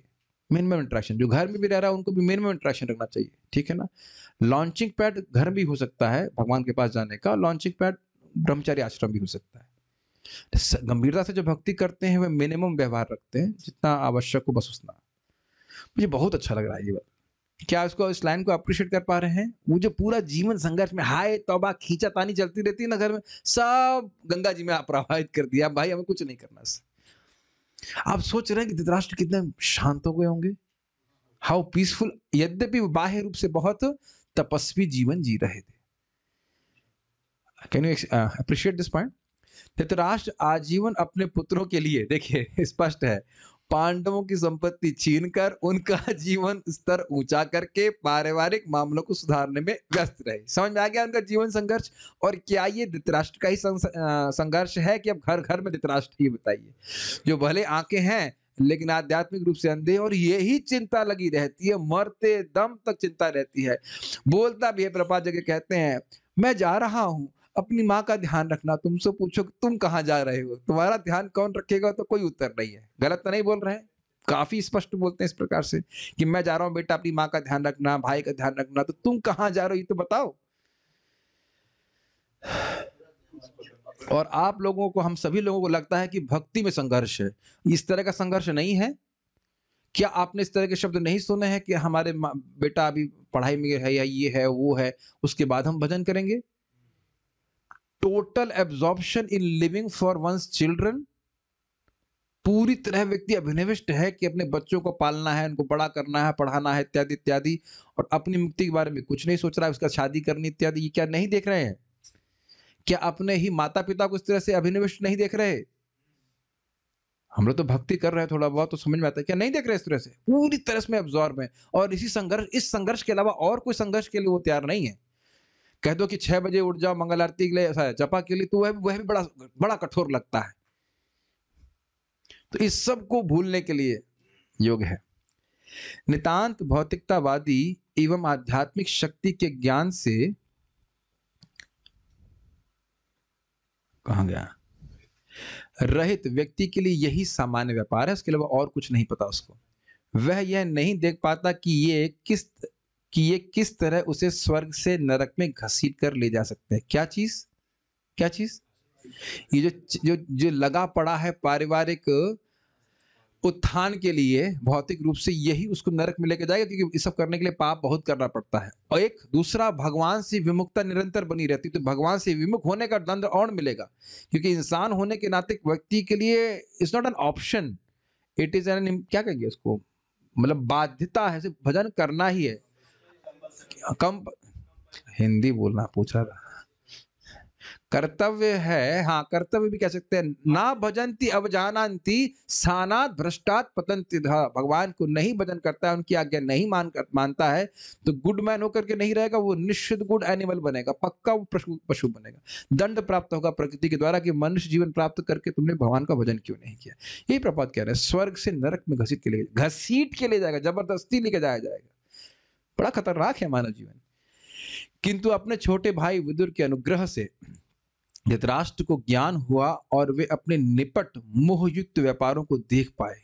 ब्यूटिफुल स्टेटमेंट्स कौन व्यक्ति ऐसा है जो भी भक्ति कर रहा हो, गंभीरता से वह अपनी ऐसी स्थिति को नहीं देख रहा था कि हम किस प्रकार से बेवकूफ़ी का जीवन व्यतीत कर रहे थे?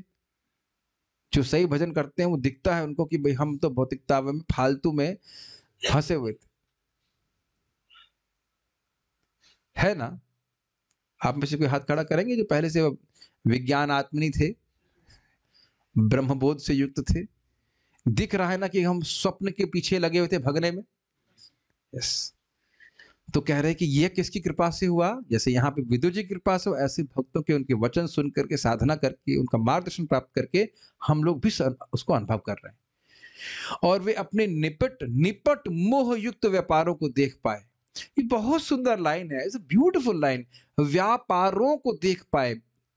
Are you able to see that in your life कि कैसे हम लोग मोह युक्त व्यापार में निमग्न थे, देख पा रहे हैं कि नहीं? देखना, समझना। अच्छा मैं आपको देख रहा हूँ उस तरह से।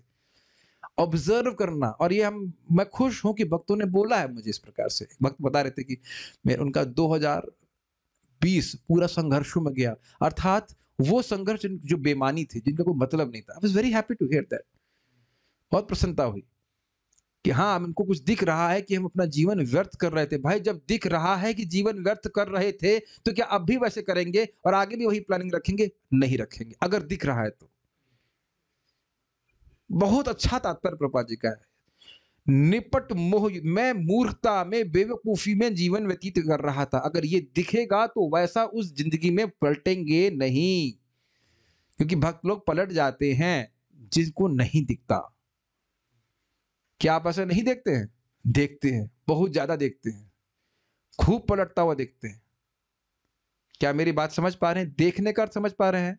स्क्रीन की तरह दिख जाएगी, भाई, हम तो बेकूफी का जीवन व्यतीत कर रहे थे। नरक जाने के मार्ग पे थे हाईवे एक्सप्रेस वे पे थे, नरक एक्सप्रेस वे मैं तो अपनी बात बड़ा स्पष्ट हम देख रहे थे कि एकदम नरक के एक्सप्रेस वे पे थे। ऐसे ज्ञान के कारण ही वे आत्मानुभूति के लिए अपना घर छोड़ सके। तो कुछ समझ रहे हैं कि इस आत्मानुभूति के लिए उन्हें कितना डिटर्मिनेशन चाहिए? वृद्धावस्था, तीन बार स्नान, अग्निहोत्र, जल लेकिन वो देख रहे हैं कि मैंने जो आज तक सुख के लिए प्रयास किया, वे नितांत मूर्खता थे, निपट मोह के कारण ही कर रहा था मैं। इससे मुझे कुछ हासिल नहीं हुआ। मैं बार बार इस बात को एम्फोसाइज कर रहा हूँ, ये हर व्यक्ति को समझ में आना चाहिए कि सुख प्राप्ति का प्रयास कर रहे हैं, लेकिन सुख मिल नहीं रहा है, दुख ही प्राप्त हो रहा है। तभी इस जगत से व्यक्ति बाहर निकलने के बारे में सोचेगा। और उसके लिए जो प्रयास है उसमें वो दृढ़ रहेगा। यू मस्ट बी श्योर कि जगत हमारे लिए अच्छा नहीं है। अगर हम जेल से बाहर निकलना चाहते हैं तो क्या जेल में ये भावना भी होने की कि भाई इतनी बुरी तो नहीं है? हफ़्ते में दो दिन तो यहाँ रह सकता हूँ, बाकी पाँच दिन बाहर रह लूँगा। ऐसा ऐसा तो नहीं सोच सकते ना अगर जेल से बाहर निकलना है। क्यों भाई श्रीनाथ जी? सही बोल रहे हैं ना? जेल में उपादेय बुद्धि तो नहीं हो सकती, ये भी अच्छी चीज़ भी भगवान का धाम है, ये भी अच्छा है। भगवान की शक्ति है, भगवान से अभिन्न है। फिलोसफी तो हम सुन के आए हैं। भेदा भेद प्रकाश भेदा भेद प्रकाश तो नहीं, अचिंत्य भेदा भेद मुझे बहुत अच्छी बातें लग रही हैं। जितना अपने विगत जीवन की मोह अवस्था को, मूर्खता को समझेगा, उतना ही व्यक्ति इस भक्ति में जो तपस्या उसको करने के लिए दृढ़ प्रतिज्ञ रहेगा। पीछे नहीं हटे। जैसे यहाँ पे हम देख रहे हैं, नहीं पीछे हट रहे वो। श्री नारद देव ऐसे स्थान पर जो स्वर्गिक गंगा के प्रवाह से पवित्र था, स्वरध्वनि शब्द को बता रहा है प्रभुपा जी ने, उनकी आध्यात्मिक प्रगति की भविष्यवाणी कर रहे थे। समझ में आ रहा है स्पष्ट? अभी सब हुआ नहीं है, लेकिन बता रहे कैसा होगा। बिना भोजन किए केवल जल पीकर रहना भी उपवास करना माना जाता है। आध्यात्मिक ज्ञान प्राप्ति के लिए आवश्यक है। के लिए यह आवश्यक है। मतलब कुछ उपवास आवश्यक है। हम लोग इतना उपवास नहीं करते हैं। मूर्ख व्यक्ति विधि विधानों का पालन किए बिना सस्ता योगी बनना चाहता है। अब खाने की क्या उसमें नियम पालन करने की ज़रूरत है? ये ऐसा मत सोचिएगा कि हम ऐसे आप खाली मज़ाक में बोल रहे हैं। आईआईटी में हमको जो योगा सिखाने आते थे, मैं मुँह पे ही पूछा। अभी हमारे आनंद मित्र मांस मुर्गा खाते थे, हमने कहा, योगा सीख रहे हैं और मांस खा रहे हैं तो क्या है? तो पहले तो खांसे कैसे खांसे। उसके बाद हम ठीक है। समझ रहे ऐसा एकदम स्पष्ट नहीं बोले कि भाई मांस नहीं खा सकते।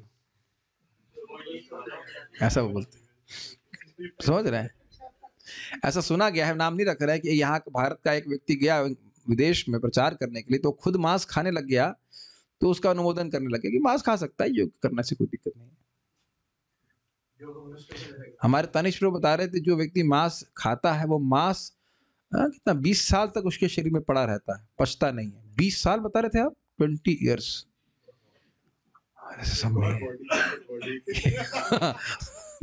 दे, अंतर। दे के अंदर एक दे। बताइए तो मेरा तो दिमाग ही हिल गया सुनकर हाँ तो अब मुझे वही मुर्गे अंदर अंदर से बाहर प्रकट होंगे जो खा रहे हैं वो काटेंगे उसको कह रहा नहीं आओ एक अलग बात है। बट बिना इंद्रिय संयम किए हम योगी नहीं बन सकते। सर्वप्रथम जिस व्यक्ति की अपनी क्या लिखा इसके ऊपर? दिख नहीं रहा कुछ। आप लोग दिख रहा है क्या? ब्लर था हो रहा ना? जीप जैसा लिखा है कि जीप मैं कहता जीप पे लगाम लिखा हुआ है। जीप लिखा हुआ ना जीप? जीप है जीप है कि जीभ है? हाँ। तो भाई अब आप लोग, आप मीटिंग छोड़ दीजिए, बहुत हैवी बातें आने है वह कभी योगी नहीं बन सकता। सबने सुन लिया ना? सर्वप्रथम जिस व्यक्ति की अपनी जीभ पर लगाम नहीं है, वह कभी योगी नहीं बन सकता। भोगी तो पहले से ही है। नहीं, खाना छोड़ना तो संभव नहीं है पूरी तरह से, लेकिन प्रसाद के अलावा जो और कुछ खा रहा है अब कहे वो भक्त बन जाएगा, बड़ा अच्छा वाला तो बहुत मुश्किल है। योगी तथा भोगी दो विरोधी शब्द हैं। तो अब देखिए ये सब तो गृहस्थों पे भी अप्लाई होगा। अब ये एकदम क्या? लक्ष्मण रेखा नहीं। पत्थर की तरह लकीर हो जाना चाहिए कि हम अगर कोई किसी को बुला रहा है कि शादी में आओ, यहाँ जाओ, पहले बात तो पहले मना कर दीजिए और अगर जाना भी पड़े तो कहें हम खाएँगे नहीं कुछ। भगवान के प्रसाद के अलावा हम कुछ नहीं खाते। हाँ कुछ भी मुँह में कोई ठूस तो नहीं देगा आपको। हाँ, कि नहीं? तो नहीं कर रहा है। ये सब अपराध होता है। भक्तों की बात कर रहे हैं।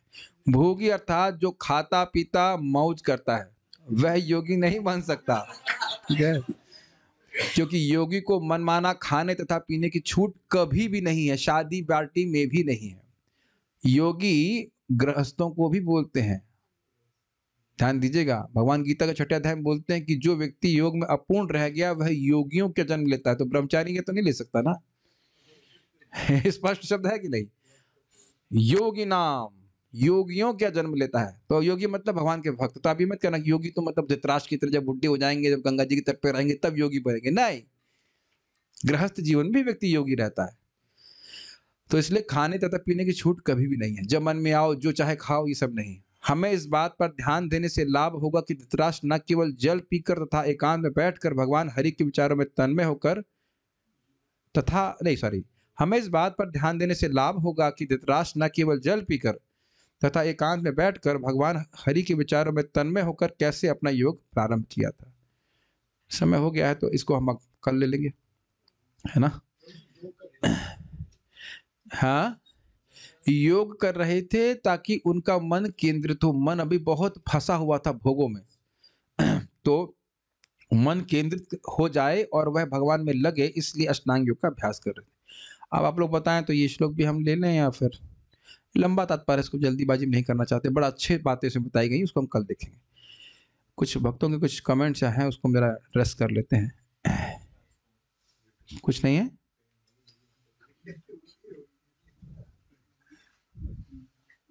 मेरे ख्याल से कुछ भी नहीं है ना।